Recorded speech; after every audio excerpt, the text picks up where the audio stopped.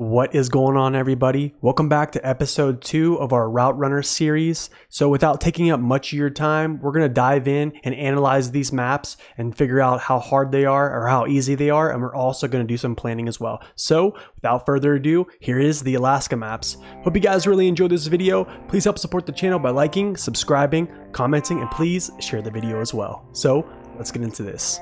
Roll the tape.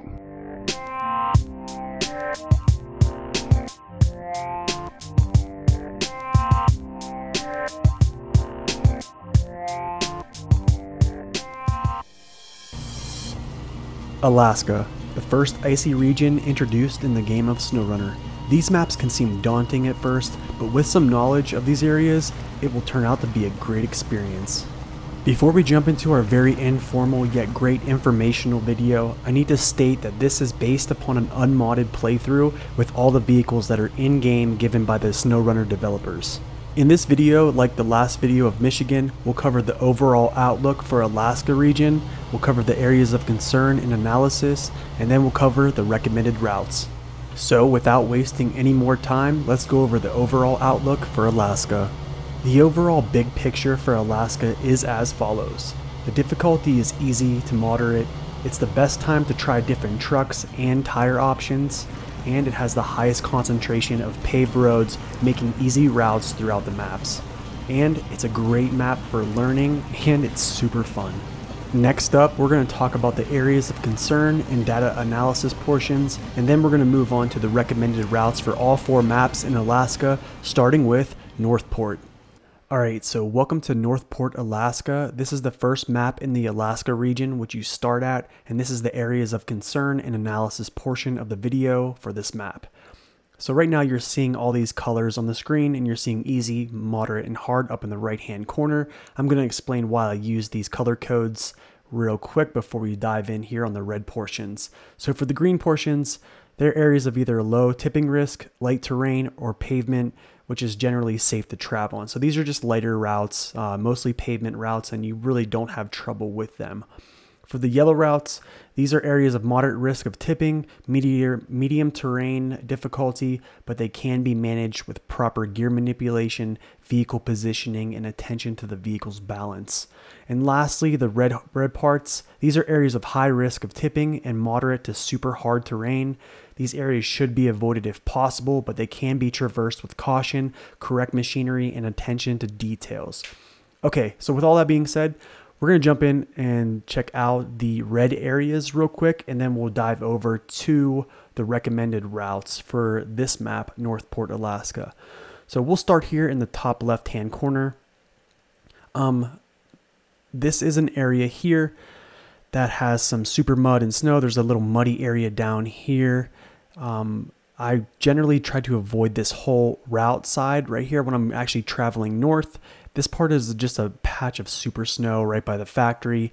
Um, like I said, I generally do not travel past the factory here. If I'm traveling up this way, unless I have to, I will definitely cut over in a different direction. So let's move south here from the warehouse uh, down here where the BM17 is actually sitting. It's right here.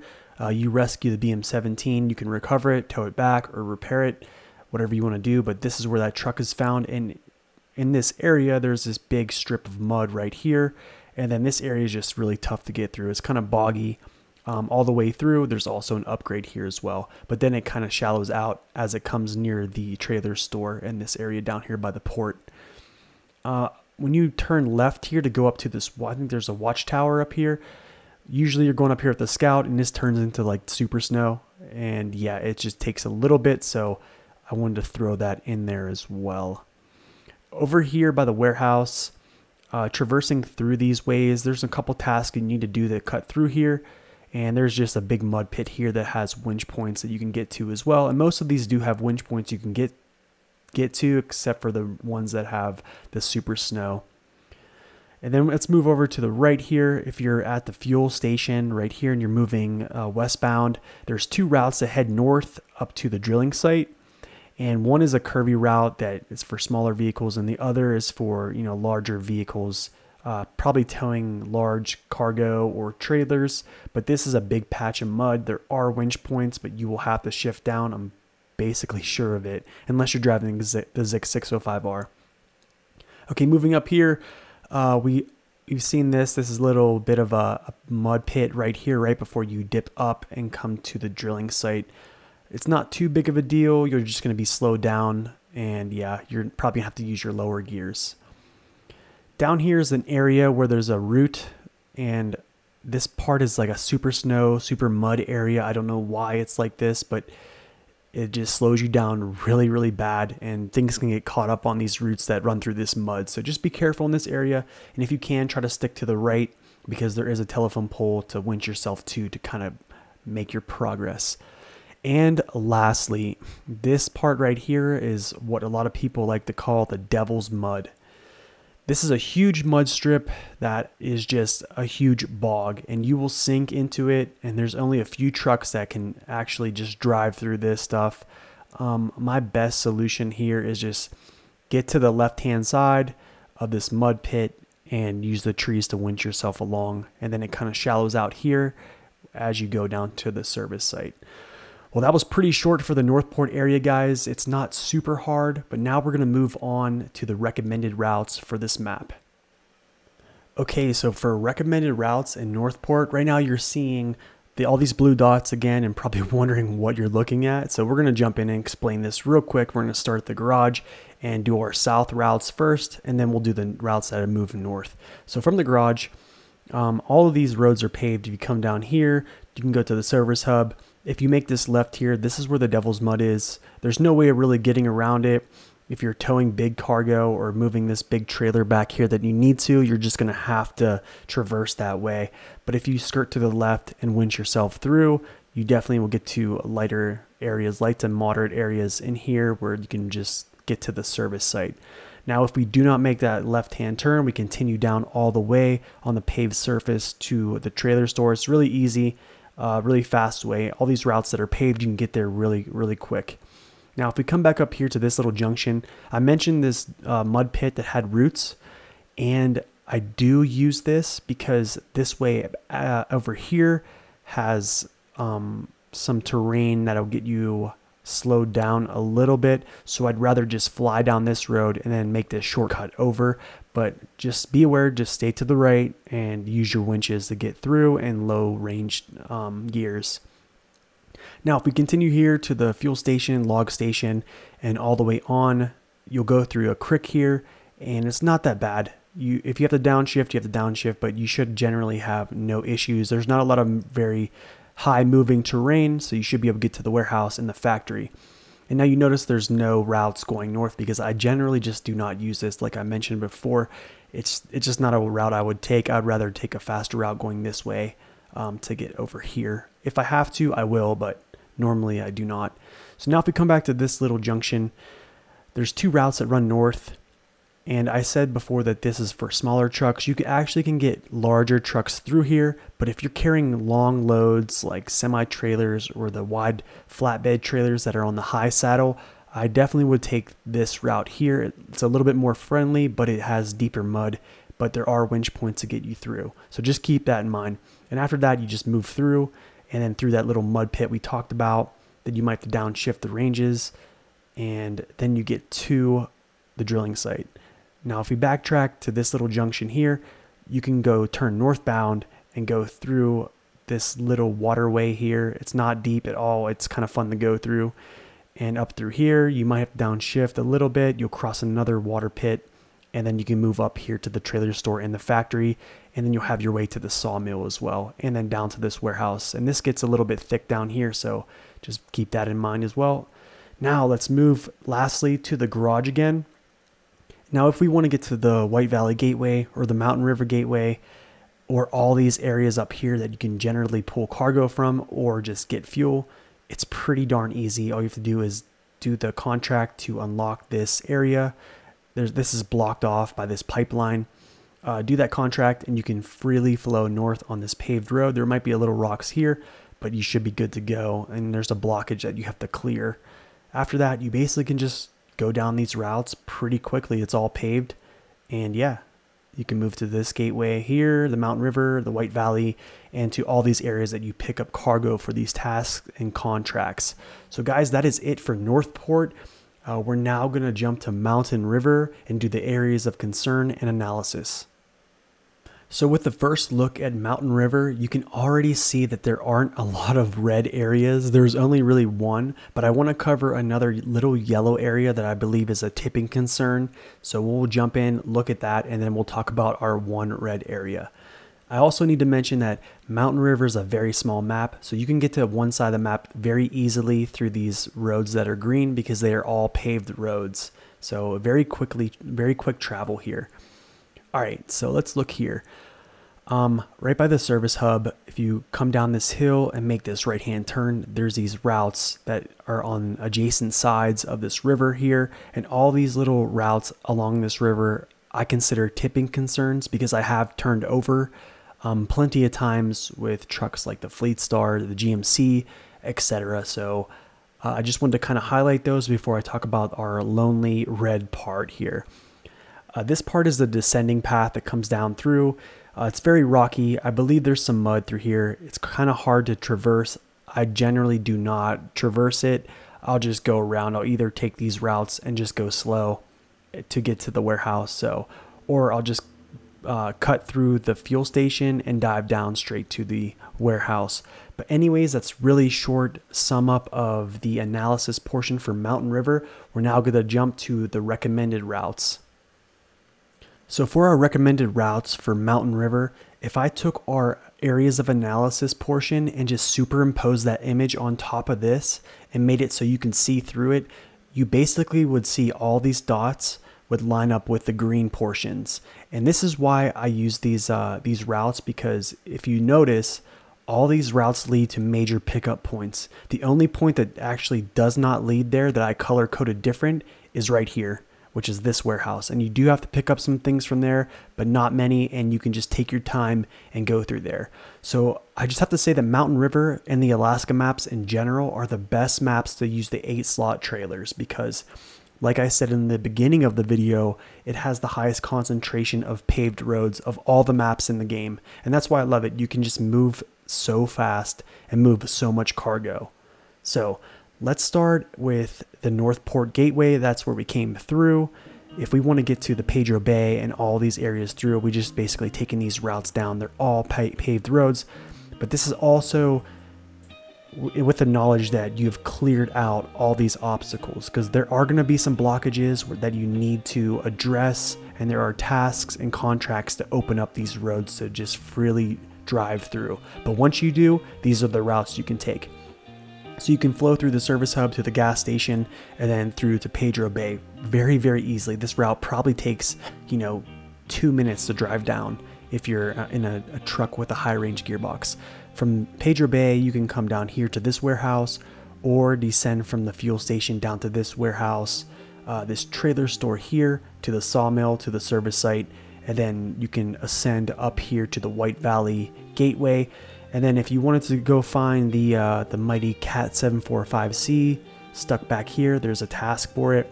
You can just jump on this little path here with no with no issues as well. So from the Northport gate, you also can hit this fuel station here. There are two fuel stations on a very small map, so fuel isn't a concern here. And there's also two trailer stores as well.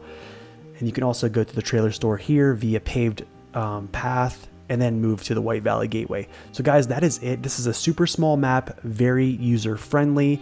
Um, do not be afraid to use large uh, trailers like the eight slots to traverse these ways. These are perfect maps to use those. So now we're going to jump over to White Valley and do the areas of concern and data analysis portion. For our areas of concern in our analysis portion of the White Valley map, you can see already that there aren't a lot of hard spots and the map is very long. It's actually the same size as the Island Lake map, but it's spun 90 degrees. So, and you can see there's a lot of green areas. These are basically paved routes and you just can kind of figure out in your head that you can move through this map pretty easily and pretty fluently as well. So we'll talk about these red portions and then I'll add a little bit of these yellow ones at the end. So right here by these log stations, I've noticed log stations throughout the game have been getting thicker with mud. This is a thick piece of uh, area right here that I have got stuck in before. I've dug myself down to the frame and had to pull myself out with another truck. but you can generally get through here. It's just going to be kind of slow paced, but just just remember your low gears and differential locking. You should be okay. If you move north here, there's a big mud pit. I've used this in my P16 video and I think another video as well, uh, moving through this. If you want to get through this, there are winch points. Uh, you can see the vegetation here. Just stay to the left-hand side and use your winch points to get through. Uh, then you can just progress northward. If you want to come out of the woods here uh, from the sawmill and you want to just shoot through to get to the fuel station or back to the garage, there is a little portion here of mud that is kind of hard to get through not too bad. There is vegetation around you, so winching is going to be an option there as well. Up here is just another little mud pit. It's, it's kind of deep. There are winch points around you, but I noticed that progress gets very slow, and I've had to downshift uh, a couple times with uh, some bigger trucks. So that is the red portions, and I just want to kind of highlight here, back to what I was saying, these yellow routes that are traveling northbound, there was a couple points I did want to add red red spots, but uh, I've traversed these areas with some of the worst trucks in the game, and I didn't feel that they were too hard to get by. So that's why I left them yellow. And guys, this is the analysis portion. We're now going to jump over and do the recommended routes. Okay, once again, we're back with our blue dots. And I just want to add if we superimpose our areas of concern and analysis, you'll see that our blue dots are going to be laying on top of the green routes. And I do this because there are only a few places that you actually have to branch off of those green routes to pick up cargo. One of them is the sawmill, the second is the log station, and the third is the drilling site, which you just have to take a little detour around this uh, mudded area right here. And that's basically it, guys. Uh, we'll start here at the garage. And if we want to get to the aerodome, it's pretty simple. We'll just go uh, down the route and to the aerodome and then we'll move eastbound and north and then this is all paved like i said we can go north go by all these um, sites the factory the trailer store and then we can move northbound again to these gateways that are very close to each other so it's very convenient. Now if we want to move northwest it's pretty easy come out of the garage make a left. It's all paved you can just go north and access all these little pickup sites here uh, it's not going to be very hard at all. Like I said, you can use eight slot trailers. This is probably the best place to use them um, in all regions is Alaska. And then if we want to go to this warehouse, we should make this left. It's all paved. There might be some rocks down here, but not too much of a concern. And that's how you get to the warehouse. And then if we want to move north as well from this junction, we go north and it joins up with the east, um, the northeast travel way to cross this bridge, and that is the recommended routes for our White Valley portion, guys. We are going to jump to Pedro Bay and do our areas of concern and analysis. So for our areas of concern and analysis portion for our last map in Alaska, which is Pedro Bay, it's found from the gateway from Mountain River this is another map that does not have a garage, so you're to have to stage operations somewhere on the map that has fuel. There's a fuel truck right here that you can stage operations uh, with different trucks. But let's move over here and do this analysis of these few red areas on Pedro Bay. So if we come from the Mountain River Gateway and we descend through here, there's a big mud strip right here. And this will slow you down with pretty much any any truck you have. Uh, there's only a few trucks in the game that can just plow through this. Um, you probably can guess them, but if you do not have an overpowered truck or a vehicle that can just move through this, there are winch points to your left hand side or right hand side um, that you can just winch to and progress your way through. And then the, it kind of shallows out here as you move down to the service hub.